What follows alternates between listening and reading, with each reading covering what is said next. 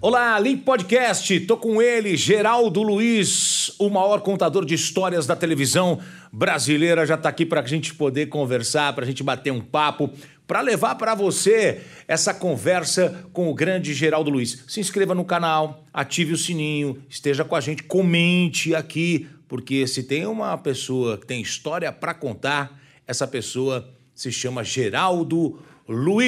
A partir de agora, aqui no nosso Link Podcast, Geraldo Luiz, como você nunca viu. Geraldo, tudo bem? Olha, vou dizer uma coisa, tô com sono. tá de brincadeira. 3 e 15 tocou meu, meu despertador hoje. Mas estamos aqui firmes e fortes porque a vida é sempre uma aprendizagem. Não tem jeito, né? 3 e 15 da manhã, 3 e 15 da tarde, 11 horas, a vida sempre vai desafiar você. A vida é feita desses momentos e a vida é feita essencialmente de uma coisa. Você que está nos vendo, nos ouvindo, a vida é uma travessia. Às vezes a porta será estreita, você vai falar, não vou passar. Passa, aguenta, você vai. Então é mais um desafio das nossas vidas, mas estou feliz porque estou vivo. Depois que alguém que ouviu no oitavo dia de UTI Olha, nós vamos deitar você e você vai dormir três dias. Nós vamos descansar o seu pulmão, porque o teu pulmão hoje bateu 85. Você está assim por causa de muita droga, a gente precisa deixar você acordado para saber que você vai ter que ficar três dias. Aí você olha para o seu filho, aí é uma questão de fé e tal. Falei, filho, tudo certo? Tá, então tá assim. Então, se o pai não voltar, tá aqui. Liguei para meu advogado, toquei para minha irmã, Falei, isso, ah, é assim, assim, assim, assado. Se eu voltar, ótimo, tomaremos muitos vinhos, muitas viagens. Se o pai não voltar, já está tudo assinado aqui. Porque eu não vou deixar igual o Marcelo Rezende, o cara foi e deixou um monte de pepino para todo mundo cuidar aí, e aí não dá muito certo isso. Então eu me dou bem com vida e morte tranquilamente, não tenho medo de morrer nenhum. Geraldo morreu. Penso um cara que morreu e está vivendo, porque eu tenho uma consciência espiritual que a vida continua aqui e lá, que está tudo certo. Então eu sou um cara assim que eu programo muito isso, muito. Claro que a gente pode, estou falando com você agora que acontece alguma coisa, coisa. Mas quando é caso de doença, a gente tem que se preparar. E esse caso do Covid, eu me preparei. Quando eu fui para UTI, chamei todo mundo, falei: a coisa não está boa, eu não estou bem. E a gente é jornalista, a gente sabe disso. E aí você se informa, muito bem informado. Então, para um cara que viu tudo isso e agora voltou, tá bom demais. O resto agora aqui é lucro. Aquele Geraldo que vocês viram, deixa eu olhar, vocês estão me vendo, é que ele morreu. Tá morto. Dentro de mim agora tem uma coragem mais absurda. Por quê? Porque a doença ela faz isso. Pode ser um câncer, pode ser o que for, uma perna quebrada. Se durante uma doença, se durante algo de ruim, você conseguir transformar em você, isso é tá brincando. Teu corpo nunca mais vai ser a mesma coisa. Tua mente nunca vai ser. Então, depois do Covid, Gotinho, eu sou outro. Graças a Deus. E você abriu o programa hoje mandando uma mensagem linda para as pessoas. Putz, você acorda cedo, né?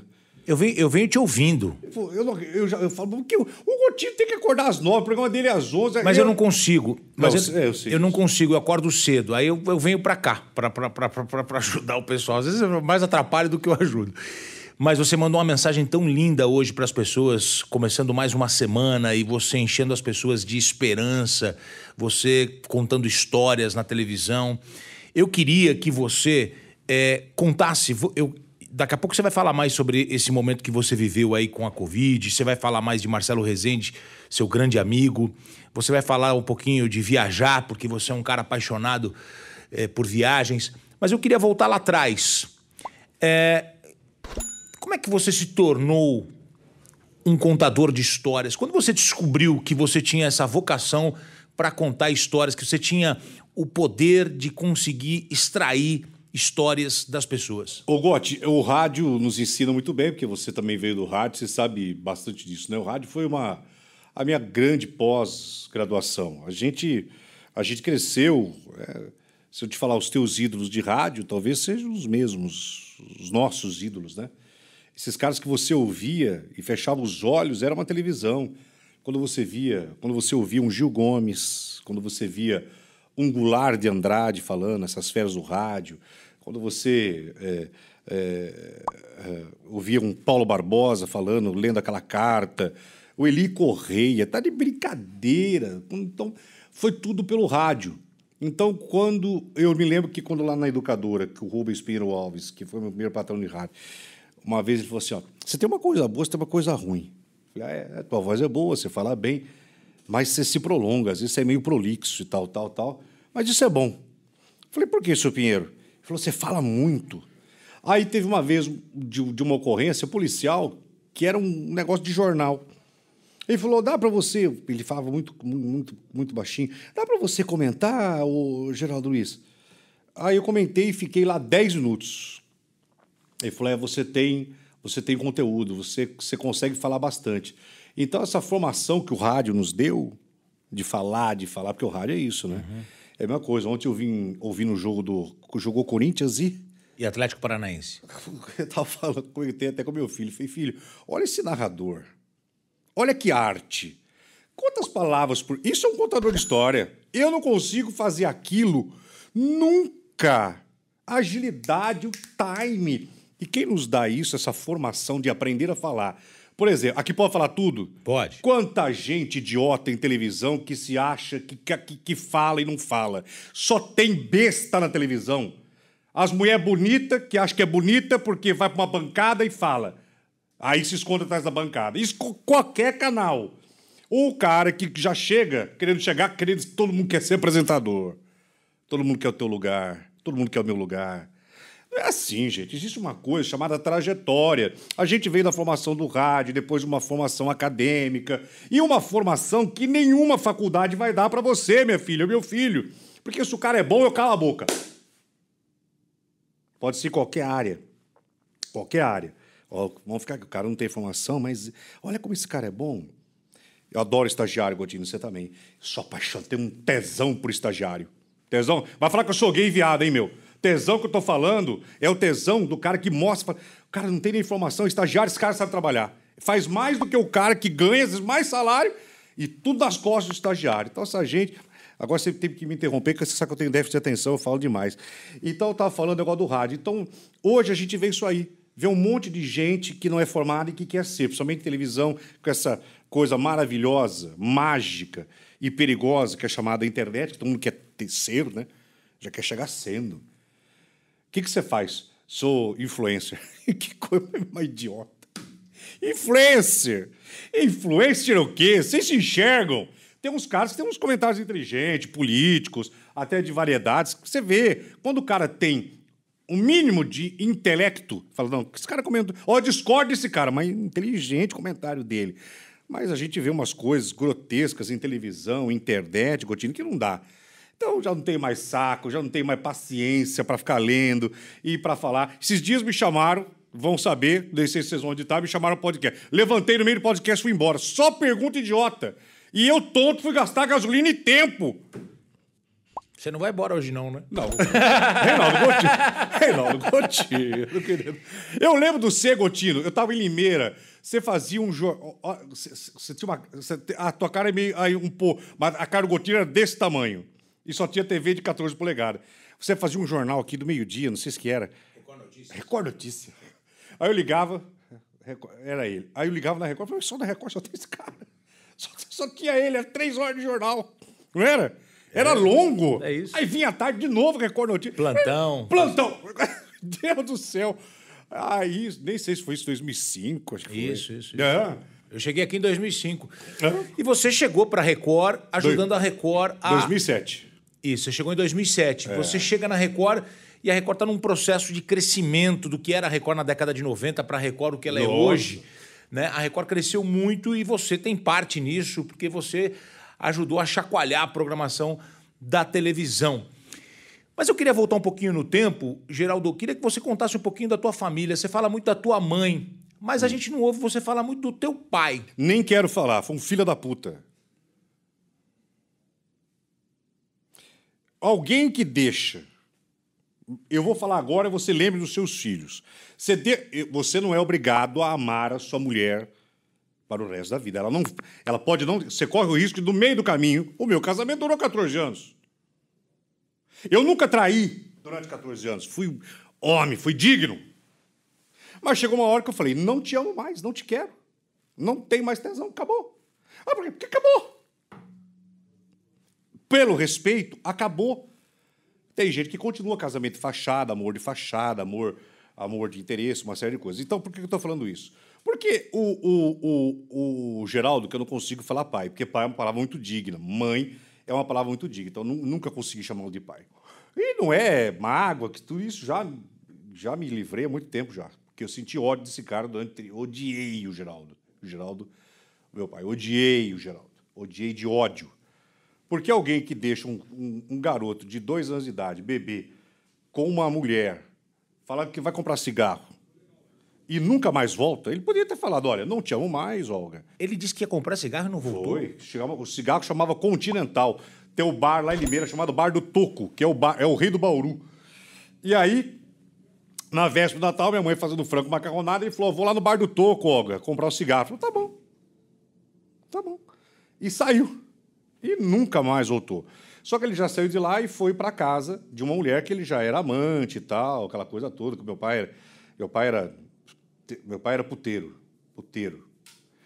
E aí ele se amigou com essa mulher já foi. E a minha mãe procurando, com essa coisa toda. Aí até que uma mulher chamada Dona Isabel, uma senhora que depois minha mãe foi fazer faxina na casa dela virou amiga. Falou: Ô, Olga, o Geraldão já casou. Não, tá desaparecido, alguma coisa. Minha mãe foi tudo. Tudo.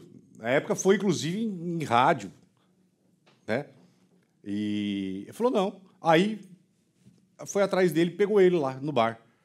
Falou, pô, era só ter avisado. E aí, uma semana, não, ah, não vou voltar mais. E nunca mais voltou. E nunca mais voltou.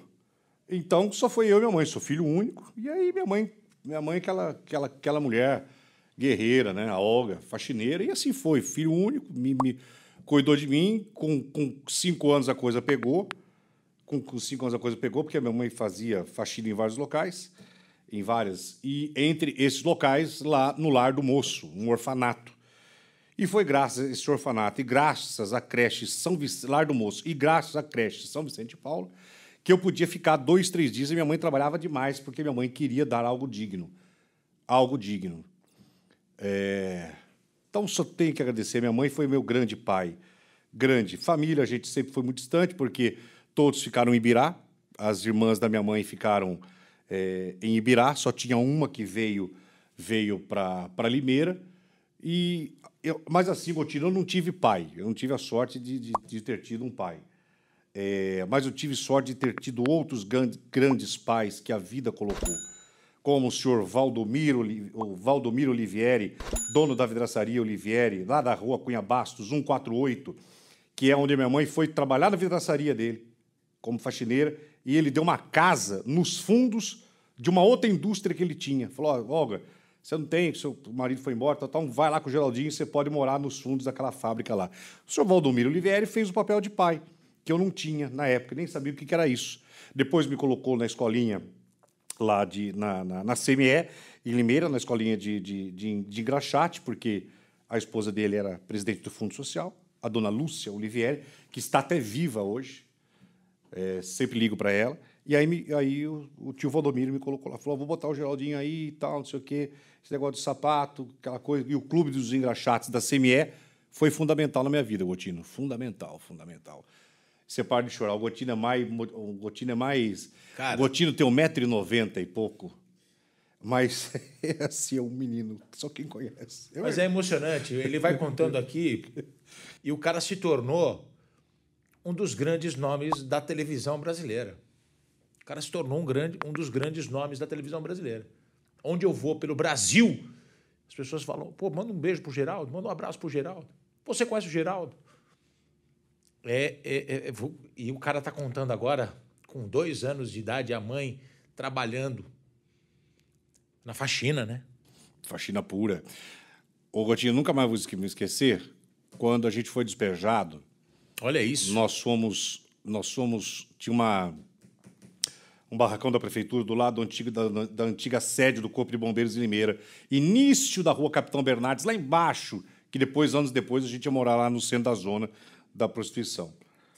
Tinha lá, tinha um barracão. E foi lá, foi uma semana só. Eu não, eu não aumento nada. Foi uma semana só, mas você dormir no meio de trator E também foi um senhor que ajudou e falou: olha, tem aqui, papapá, foi despejado, não tem. O moleque que está aqui no Clube de Escovinha, ah, filho da, da obra, minha, da minha mãe era Lola, filho da Lola, vou... enfim. Então, ter, ter, ter dormido durante uma semana no meio dessas máquinas, para mim, quando eu falo, fecho o olho, eu sinto o cheiro das máquinas, cheiro do trator. Então, a sacanagem só foi feita com minha mãe por causa disso comigo. Ele tinha todo o direito. Depois, quando eu, eu muitos anos, eu, eu encontrei, é, eu falei isso, falei, Geraldão, você não era obrigado a me amar e, e, nem amar a minha mãe. Mas você tinha a obrigação de ter sido homem, olha. Ter um parado, dado um. Né, não sumir assim. Ele chegou a ver você na televisão? Quando eu me, me tornei o Geraldo Luiz da rádio, porque eu ganhei muito dinheiro. Eu, para você ter uma ideia, eu me lembro, quando, quando eu vim, eu vendia demais na rádio, na rádio em Limeira. Vendia muito. E vendia muito lá na TV local, que é uma TV comunitária lá. Vendia anúncio. Anúncio, mas vendia muito, hum. muito. Eu vendia bem. Eu vendia. Eu saí de lá ganhando na época lá, na época, dinheiro de hoje, 60 mil reais. Eu me lembro quando cheguei aqui, o diretor de jornalismo aqui falou assim: ah, para, só porque você está chegando aqui na Record, você já quer roubar a Record. É, eu assim, não entendi, Douglas. É, você está querendo superfaturar agora que eu estou contratando você? Você quer superfaturar, falar que você ganha 60 mil?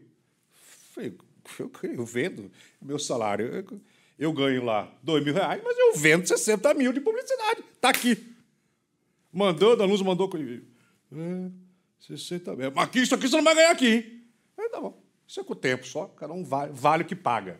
Você vale quanto? Você não vale. Você vale por aquilo que você vale. Se é competente, tem preço. Se é incompetente, não tem, vai ganhar salário mínimo. Muito bem. Mas por que eu estava falando isso mesmo? Você estava contando é, do contato que você teve com o seu pai você trabalhava na rádio, você já ganhava dinheiro na rádio. Aí ele, aí teve uma vez que ele me procurou. Você já era um sucesso na já, rádio? Na rádio em Limeira, só rádio, não estava nem na TV. Hum. E aí ele me procurou. Mas antes disso, teve várias passagens.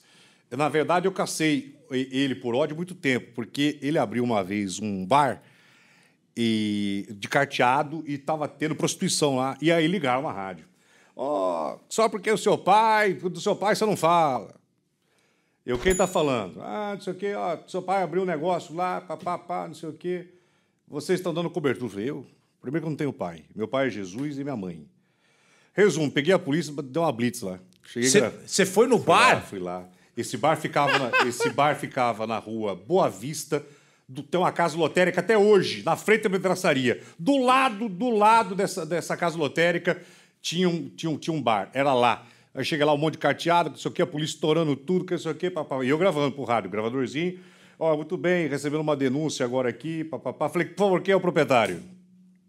Aí tava lá. Falei, sabia que jogo aqui é legal e que tem menores de idade aqui dentro? Não? O senhor sabe que o senhor está cometendo um crime? Isso, no microfone na boca de Geraldão. Do seu pai? Sim. Você foi, fez a denúncia e levou, e a Sim. polícia lá, e o seu pai? Vamos lá. Aí fechou tudo, ele foi levado para a delegacia. Eu falei, não vou nem dizer vergonha, porque, mas só para dizer que, infelizmente, eu vou dizer que o senhor é meu pai amanhã na rádio.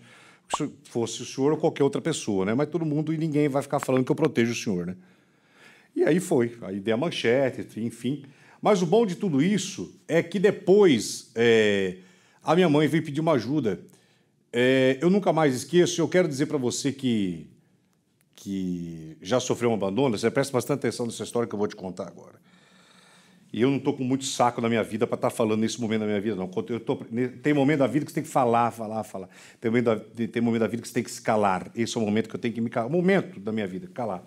Mas eu quero dizer isso para você que tenha ódio de alguém que possa te abandonar. Falei, pô, por que, que abandonou? Não o. Aí minha mãe me toca. Falou, Geraldo, o seu pai está passando uma necessidade muito grande, papapá, papapá, não sei o quê, está com os filhos dele, aqui ele tem outros seis filhos. Falei, tá, e aí? Aí leva alguma coisa, que eu já fazia campanha. Se tem uma coisa da minha vida que eu fiz a vida inteira foi ajudar as pessoas em rádio. Sempre. Que a fome que eu passei. Por isso depois eu fundei, fundei a Casa da Sopa Limeira eram 5 mil refeições dia. Gastei 1 milhão 350 mil reais contabilizados. Contabilizar 1 milhão 350 mil durante seis anos de Casa da Sopa. Alimento, cadeira de roda, tudo que vocês pensarem, quem é de Limeira sabe que a Casa da Sopa representou. Aí Eu peguei, eu tinha, uma, tinha comprado uma caminhonete, me lembro, uma caminhonete do sonho meu. Zero. Sei, o rádio já, já me deixou perto do que eu tenho, eu já saí rico de Limeira com o dinheiro que o rádio me deu. O rádio me deixou perto do que eu tinha rico, que eu ganhei dinheiro em rádio. E também na política, porque eu fazia, podia apresentar comícios, aquela coisa toda. Trabalhei em seis, sete campanhas políticas. Bem, enchi, tinha comprado uma caminhonete chamada Petfinder. Sim. Você lembra disso? Lembro. Petfinder, toda quadrada. Zero. Aí eu lembro que eu, eu peguei três cestas básicas, aí ainda passei no mercado, comprei, como se fosse hoje, dois mil reais em carne. Olha que loucura. Mas eu fui com o coração limpo. Aí falou assim: ó, teu pai mora desse endereço, você manda entregar? Eu falei: não, vou lá. Muito bem. Aí peguei o endereço, eu com o carro sozinho. Eu achei que eu ia encontrá-lo sozinho. Aí fui, ficava a casa dele atrás das máquinas Zacarias. Quem é de Limeira, tá ouvindo, pode ver. Pessoal das máquinas Zacarias, do lado não tem uma ruim estreita, lá embaixo não tinha uma favela? Aí eu entro lá, vou procurando a rua, procurando a rua, falei, gente, o que, que é essa comunidade aqui? O que, que é essa favela? O que, que, é, que, que é isso aqui? Ó, oh, rua tal, abaixei a, a, a, a ouvida, tá aqui. É, número tal. Aí desci a viela. Quando eu desço a viela, eu escuto assim, ó.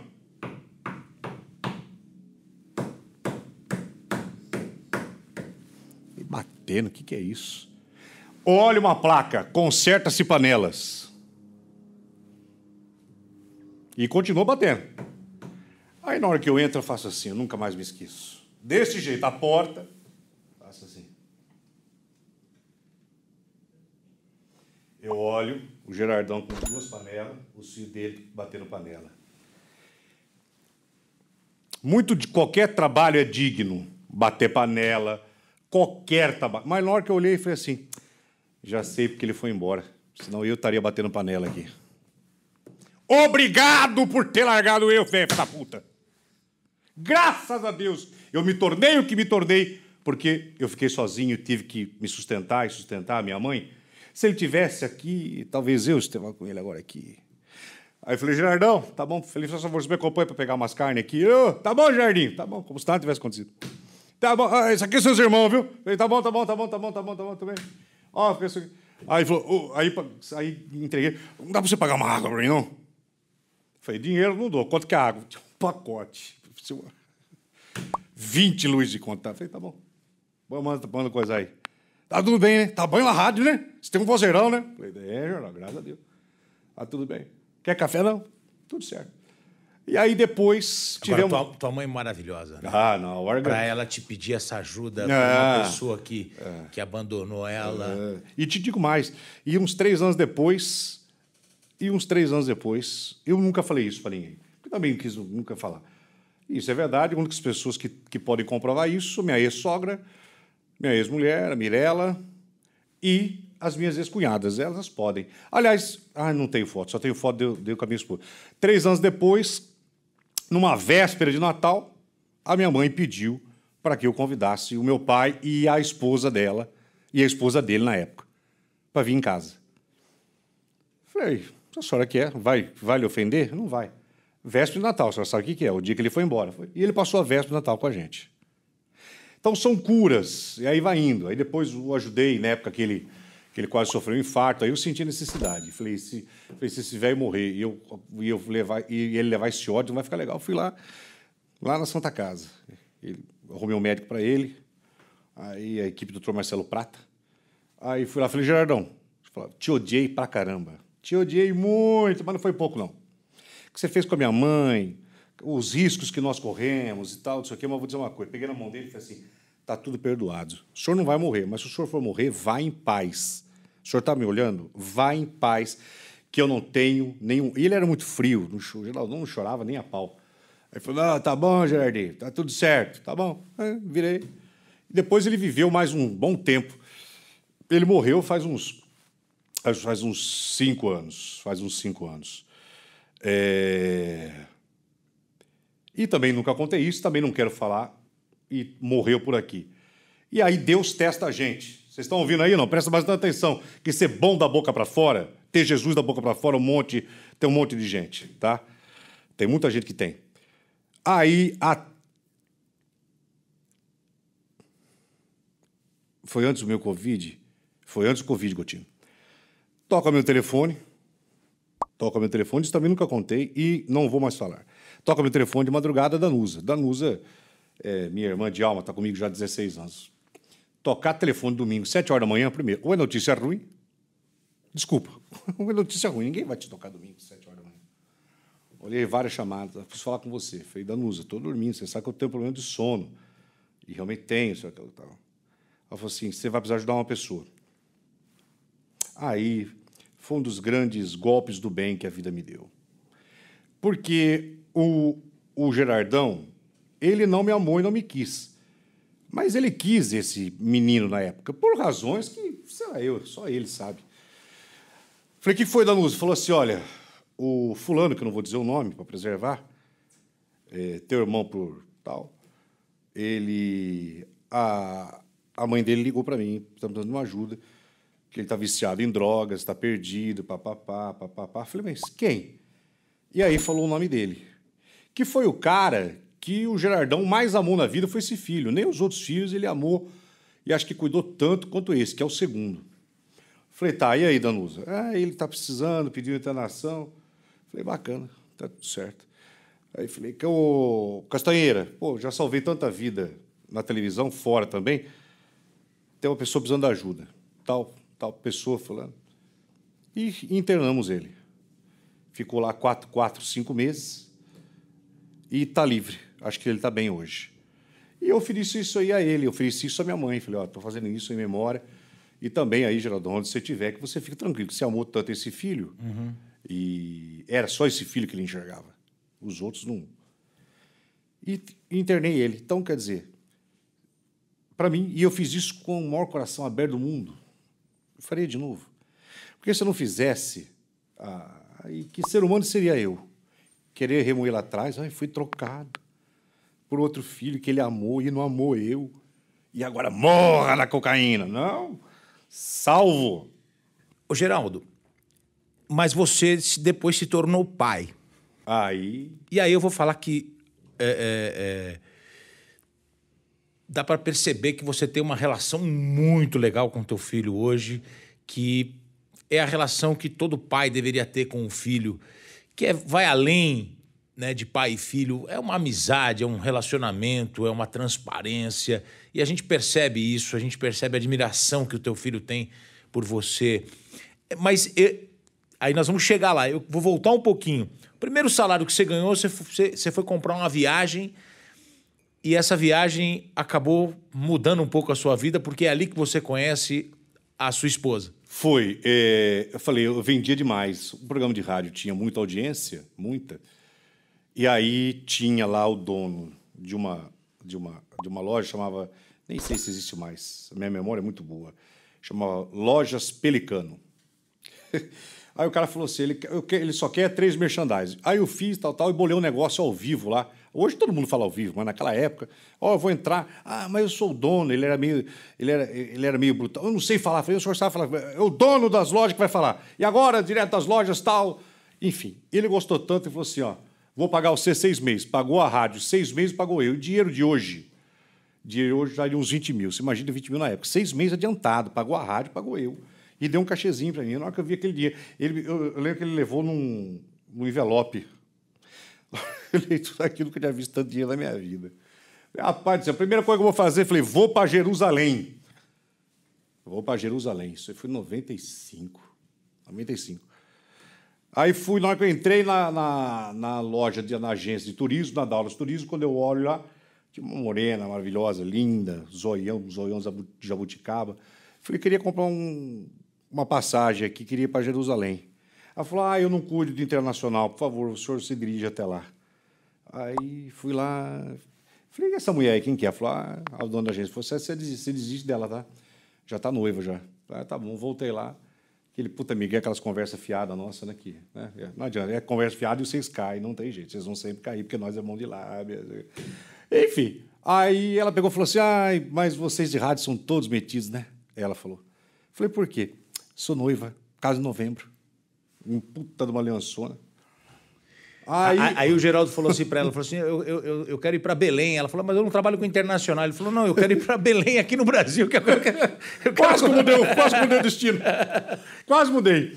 E aí, dois, do, duas semanas depois, eu, eu coloquei uma faixa, eu pichei uma faixa e escrevi Mirela, me dá uma chance. Coloquei lá na frente. Aí, quando o noivo dela foi lá, ele ficou pé da vida. Coloquei uma, tem uma foto dessa faixa até hoje. Me cobra que eu mando para vocês aí. Uma faixa podre mesmo, que Mirela, me dá uma chance. Aí eu botei um G assim.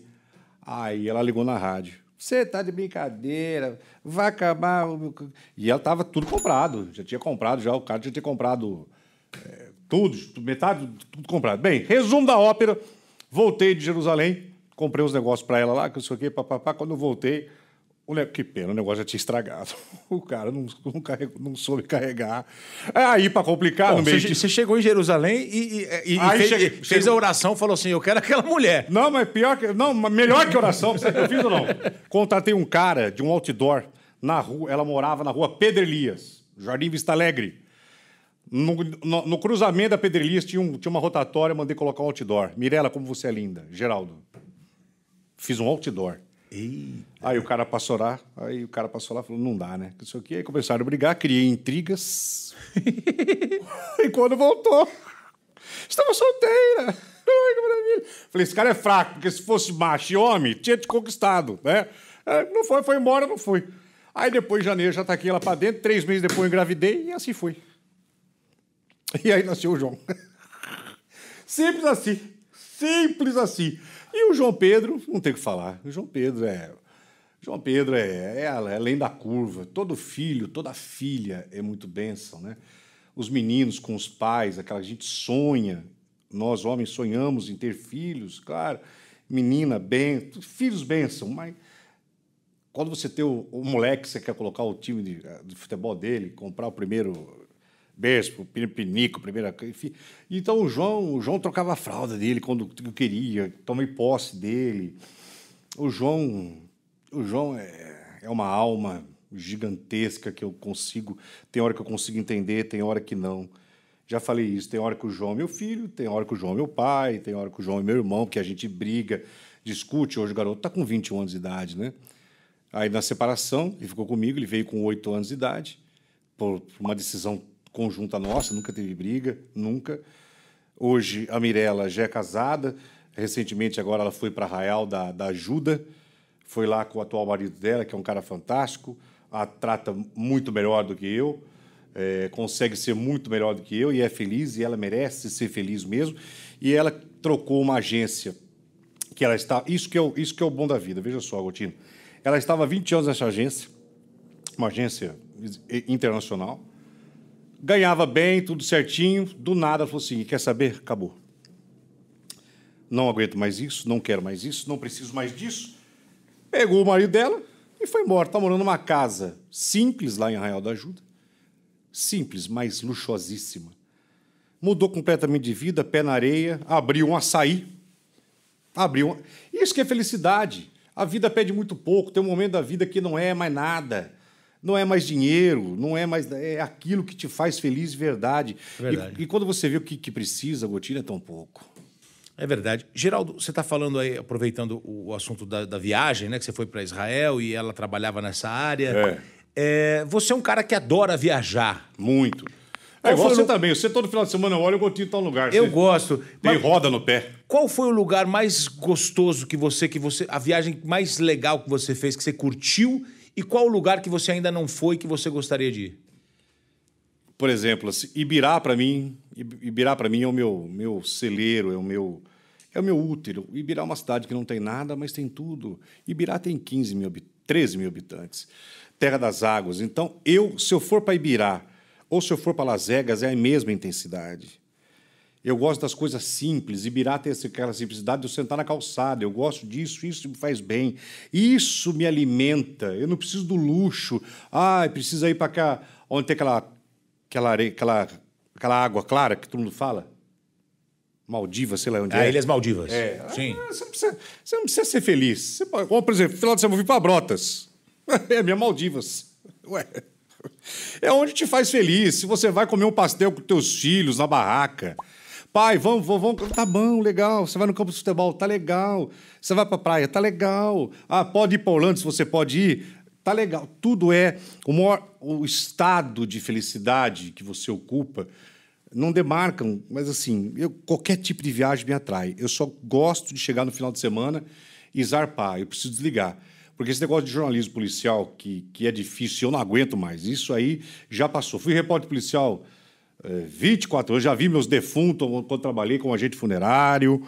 Aliás, tem uma novidade para contar, porque você vê o que, que é a vida, né? Agora, eu estou abrindo um crematório.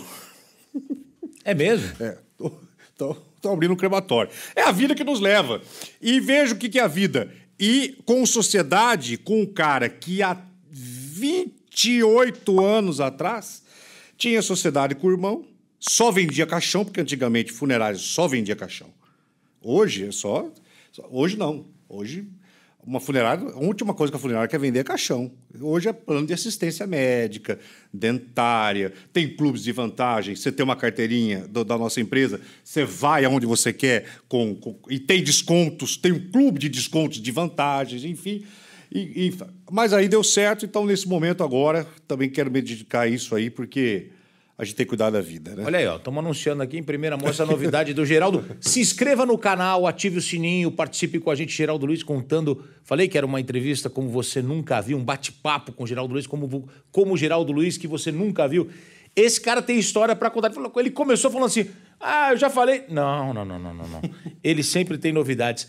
Então, Geraldo, isso é muito legal quando você fala dessas viagens, quando você fala é, é, é, desses lugares que muita gente olha como um lugar mais simples. Que é uma delícia. E você tem, você tem condições de viajar para qualquer lugar do mundo. Uma coisa que eu tenho hobby, eu gosto de parar em posto, posto podre. Sabe esses, esses postos de rodovia podre? Ah. Podrão. Podrão. Eu adoro. Aliás, sabe o que, eu encontrei? Vou ah. falar. Quem? Sabe o que, que eu encontrei nesse posto podrão esses ah. dias atrás?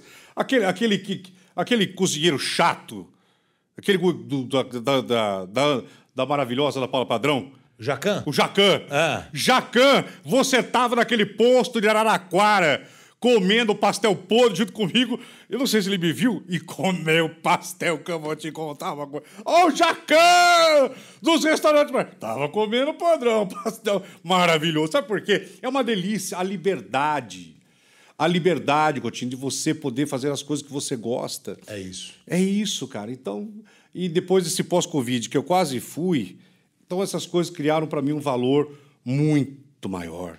O valor do tempo que nós não temos, nós não temos tanto tempo assim.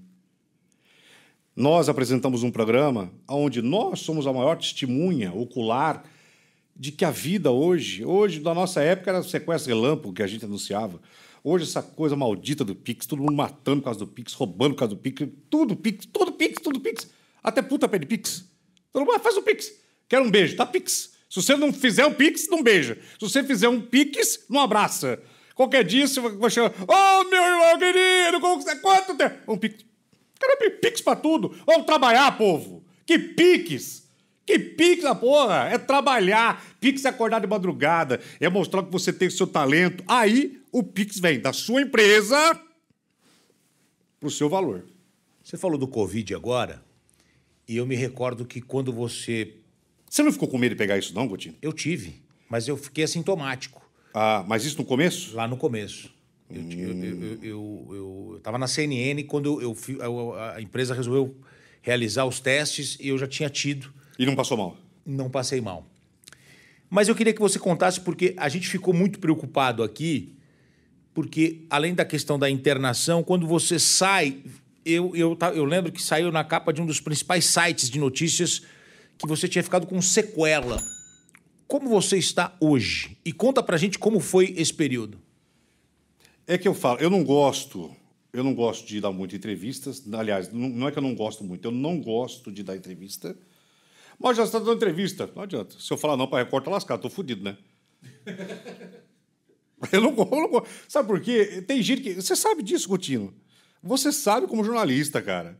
Vou mentir para um jornalista. Você vai falar, pô, esse cara é piega, esse cara tá mentindo. Vou mentir para um jornalista?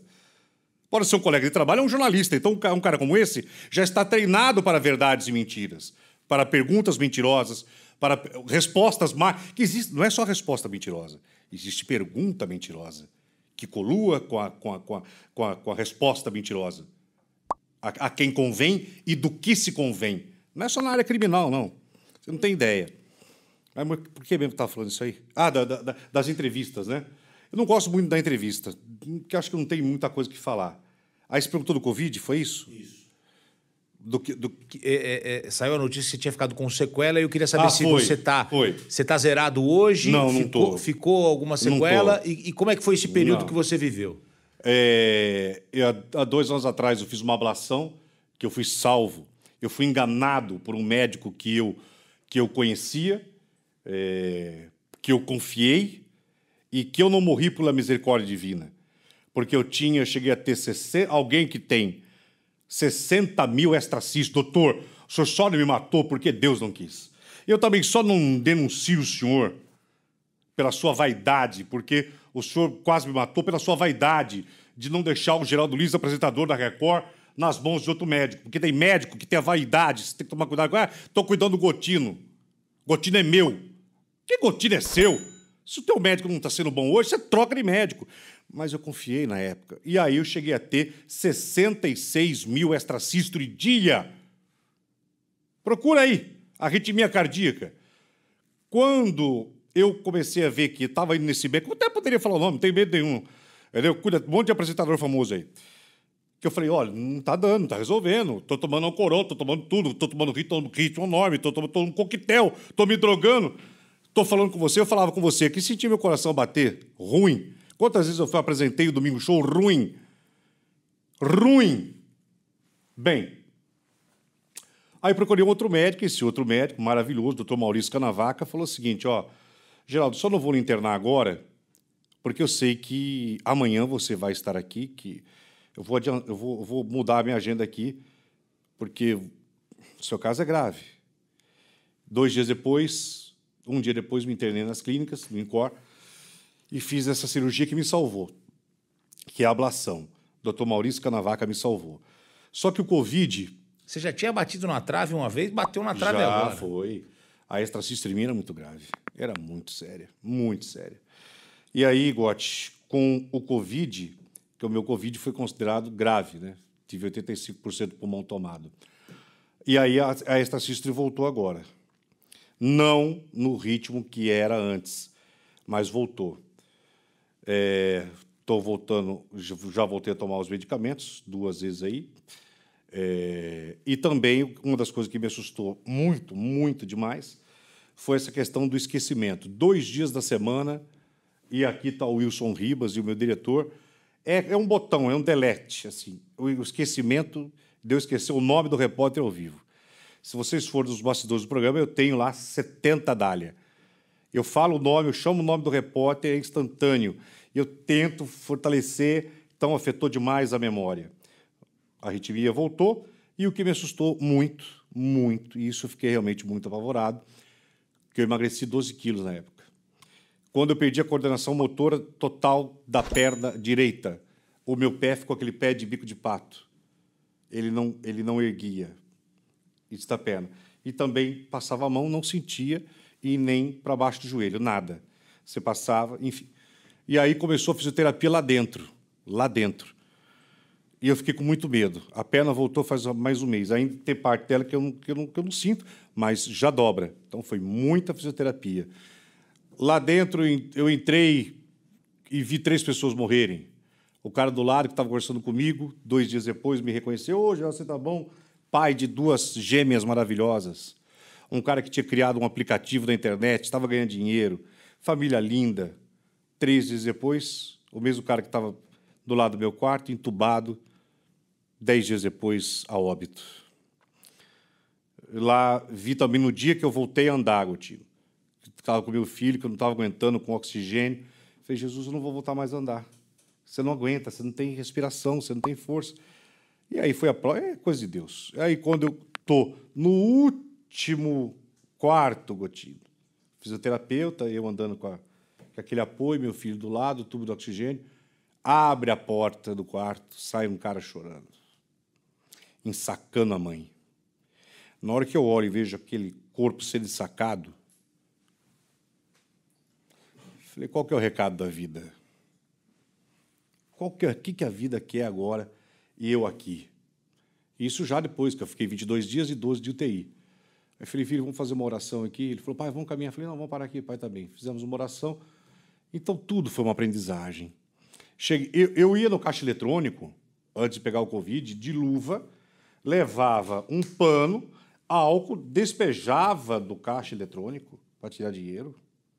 Ninguém se cuidou mais do que eu. Ninguém se cuidou mais do que eu. E perguntei à doutora Ludmila já por que, que eu fiquei tão ruim assim.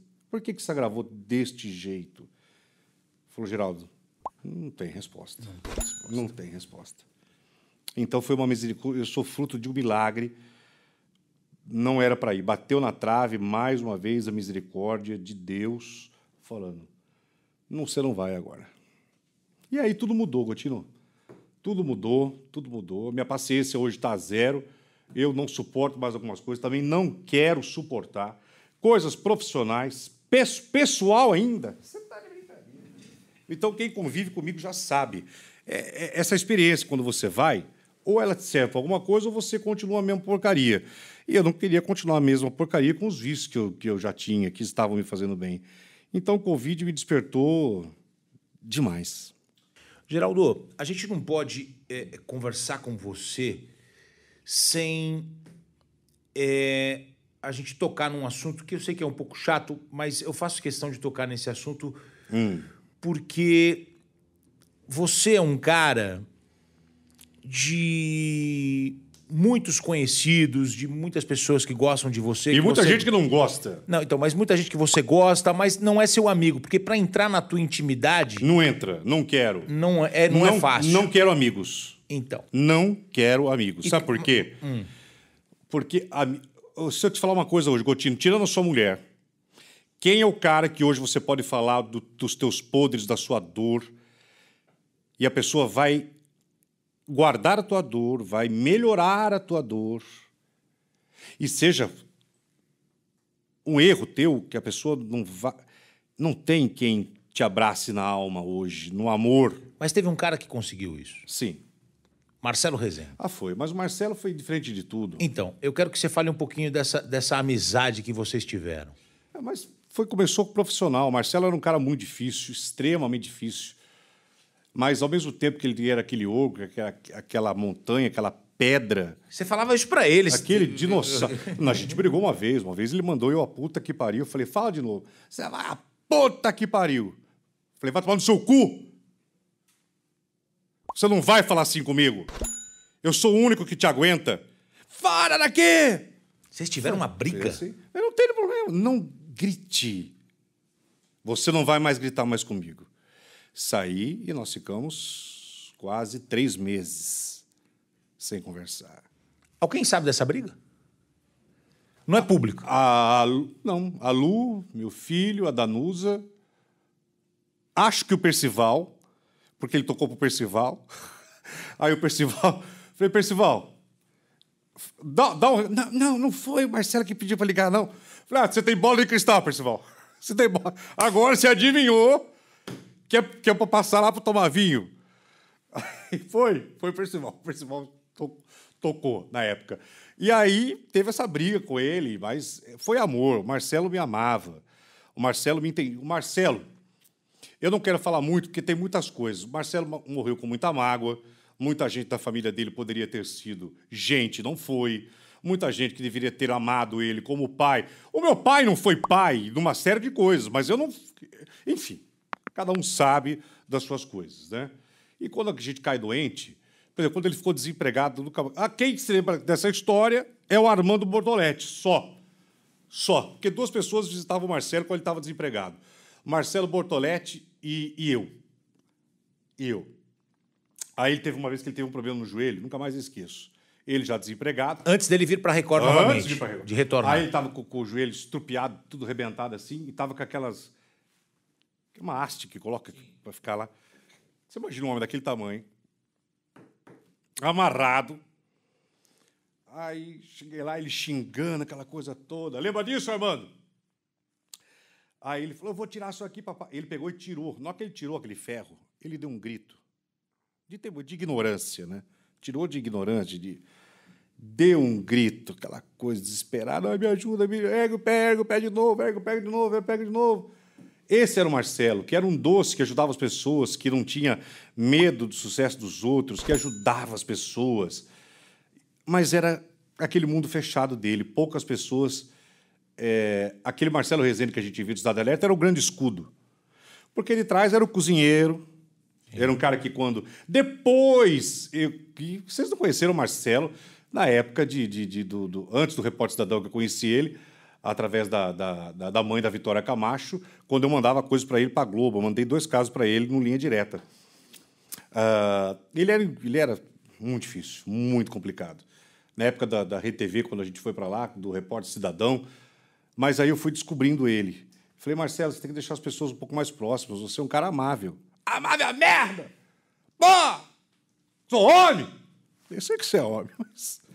Mas ele foi, com, com o tempo, ele ficou mais sociável. Sim. Quando ele começou, através da cozinha e do vinho, a chamar as pessoas para ir na casa dele.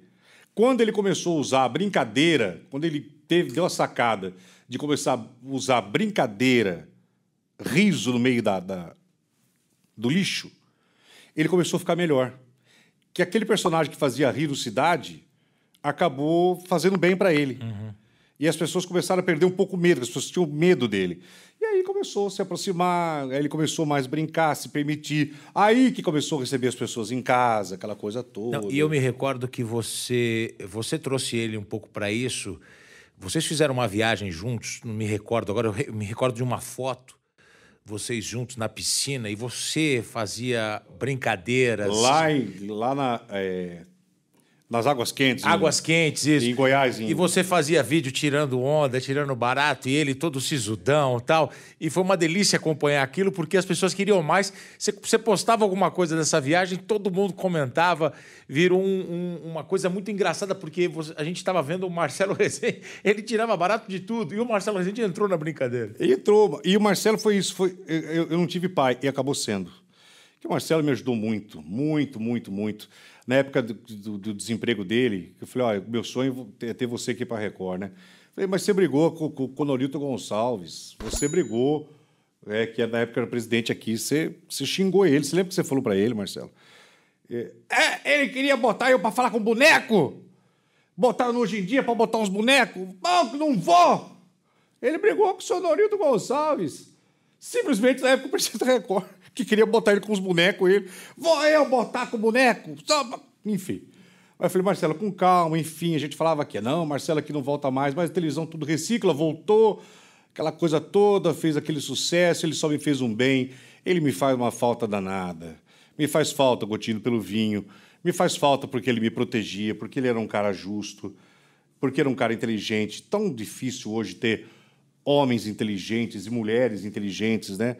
E o Marcelo era dotado de uma, de uma, de uma percepção, ele pegava, ele, sabe? E aí, antes dele ficar doente, ele se abriu.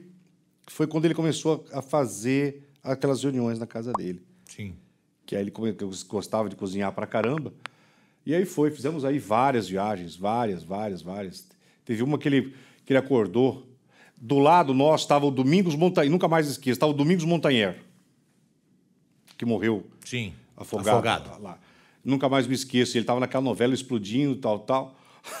Aí ele dormindo, o pessoal tirando foto. Ele, pá, que é esse cara? Eu falei, eu não sei. Ah, não sei o quê, é o tal da, da Globo. Foda-se a Globo, quero dormir! E ele dormindo do lado, os caras tirando sarro no bangalô. Ficou puto! Toda a vida, puto. Aí o que ele passou, cumprimentou, falei, Marcelo, cumprimento. Tá bom, meu irmão. Ah, tá, tudo bem. Falei, isso, fica tranquilo, não morde não, tá? Então esse era o Marcelo. Era um doce, me faz uma falta nada. Foi um grande amigo. Foi um grande, uma, uma falta muito. Sofreu demais no final da vida, mas até o último dia não reclamou. Só no último dia, no quarto, que o Marcelo se trancou, ele ficou uma semana sem querer receber ninguém. Aí eu saí de perto, só ficou ele e a Lu. Ele não queria mais ninguém. O grande amor da vida dele foi a Lu. A enfermeira foi a Lu Lacerda. É... Que chamaram de golpista, chamaram de biscate. Eu vou falar, nenhuma biscate, ouvinte telespectador. troca a fralda de outro homem na cama. Nenhuma biscate.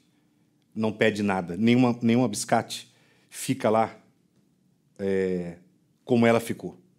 Quando ele estava inchado, que parecia que ele explodir, dessa mulher ficar sem dormir, fazendo massagem e colocando ele na banheira, como nós colocamos ele na banheira, né? E aquele médico que eu já falei, ele pode ser bom para dar receita de, de quê? Do que é do que é magro, do que é gordo, do que isso ele entende. O Lair Ribeiro entende disso. Agora o senhor não entende de vida. O senhor sabe perfeitamente que no sábado eu falei, ou o senhor vai lá que ele está inchado, que está pedindo para que o senhor vá lá, que o senhor é o médico dele, por uma decisão, a medicina alternativa foi dele, que o dia que ele falou, que ele ligou para o médico dele, que eu estava no Einstein com ele, que ele retirou e falou: Não vou mais fazer quimioterapia, Marcelo, não vou mais fazer essa porra. Calei a boca, a vida é dele, o corpo é dele, ok. Aí o médico ligou, os filhos, todo mundo achou que poderia ser eu ou a Lu que estava fazendo a cabeça do Marcelo para não fazer, mas alguém faz cabeça de Marcelo Rezende?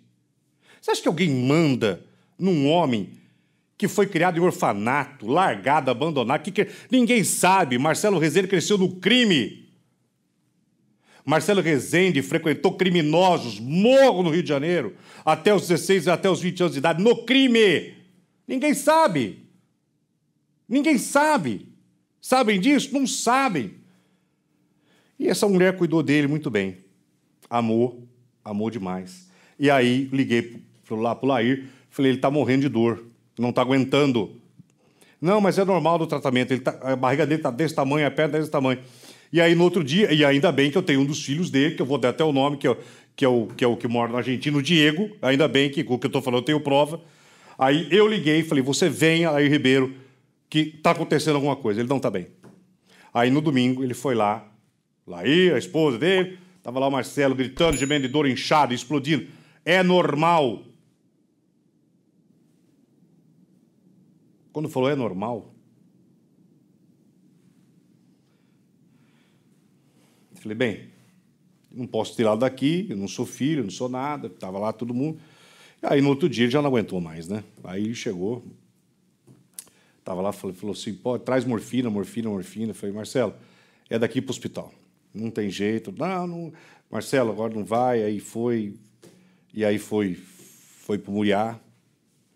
Aí eu conversei com ele, foi na noite, que ele ainda estava lúcido, que eu estava do lado dele, eu e a Lu. Ele me pediu uma água de coco, que eu não posso nem ver essa água de coco na minha vida, nem a marca eu posso ver, nem, eu estou em mercado nem vejo. Ficou, e eu dando a água de coco para ele, ele já não estava com dor, a médica entrou, aí pediu para a gente sair, uma hora depois ela falou, olha, está todo tomado, a gente vai apagar ele, para aquele, aquele coisa, e aí eu digo também a prova disso, e falei, quero me despedir do seu pai, desse jeito, fiz uma oração, eu, Diego, Diego é um cara inteligente, Marcelo gostava muito do Diego, cara, um filho sensato. É... E foi isso. E a Lu queria ficar lá. Falei, Lu, a hora da gente sair. Aí os, a, a, parte das filhas não queria mais que a Lu ficasse lá. E aí depois lá embaixo teve uma discussão, inclusive. Aí veio lá.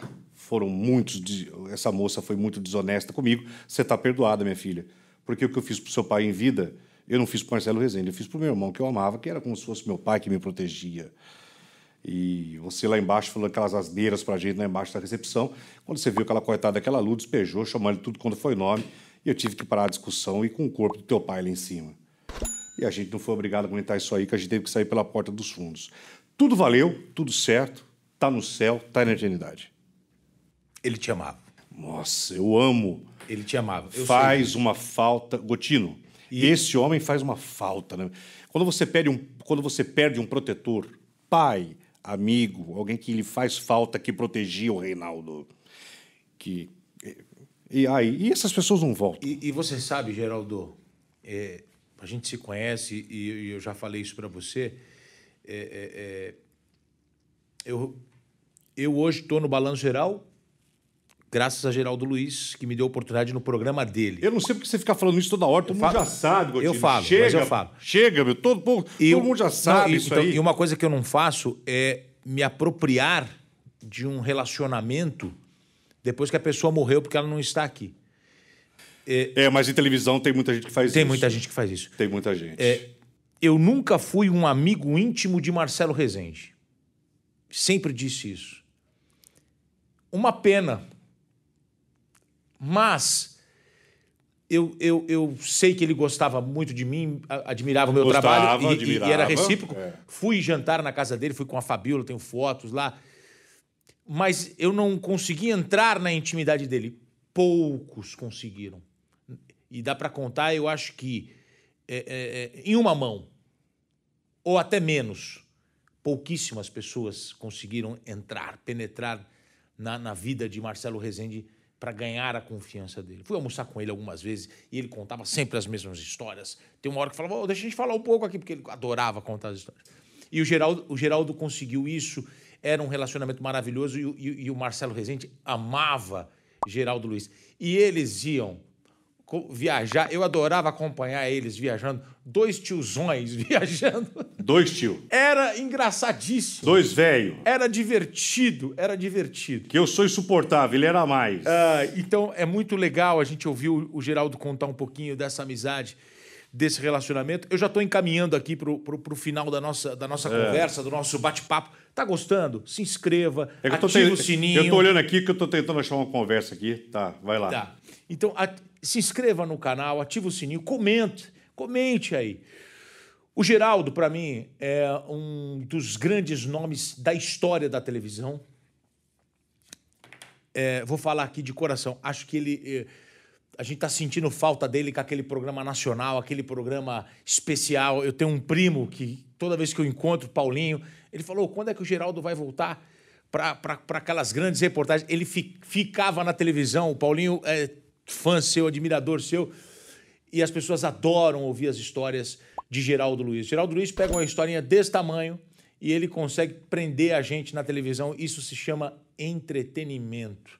Ele consegue segurar a gente contando essa história e eu acho que ninguém faz isso na televisão. Tem muitas pessoas hoje contando história na televisão e principalmente aqui na Record e contam muito bem porque fizeram escola com Geraldo Luiz, que é esse grande professor aqui.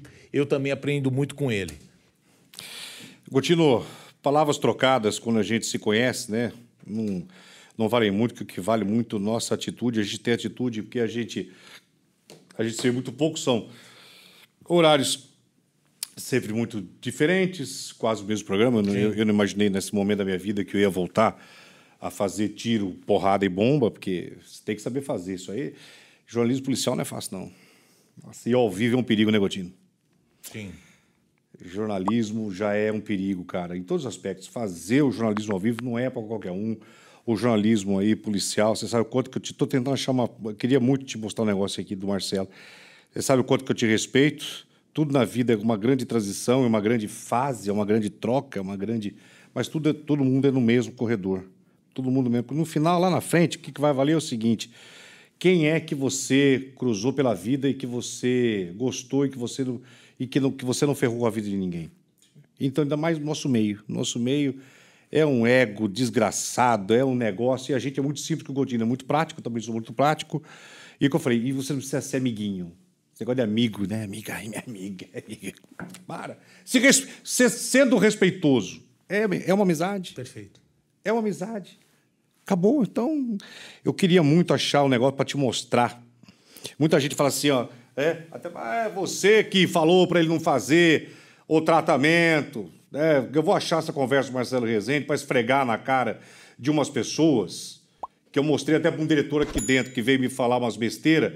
Falei, ó, Marcelo ninguém mandava, não. É, é, a, o tratamento dele alternativo, de não fazer mais o, o, tratamento convencional, foi dele, que ele fala aqui. Ele manda até calar a boca aqui, ó. Entendeu?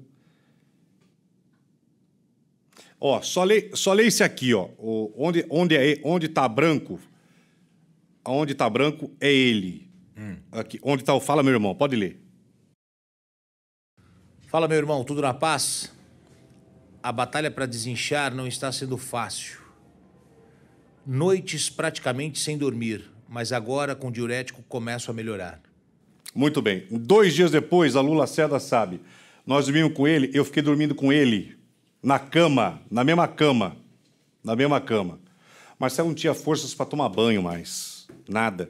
Foi um cara que foi até o final sem reclamar. A gente dói o dente, porque dói, é dor, Gotino. Sim. Uma das coisas mais incríveis. Falei, como que esse cara conseguiu não reclamar?